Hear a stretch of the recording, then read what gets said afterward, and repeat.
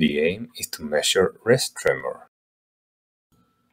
Ensure that your right hand is in a comfortable position with your arm aligned with the center line of the box and your wrist in the middle of the two white dots.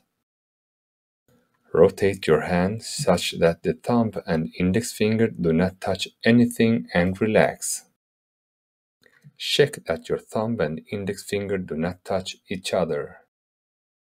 Just sit quietly and rest until the tablet says end.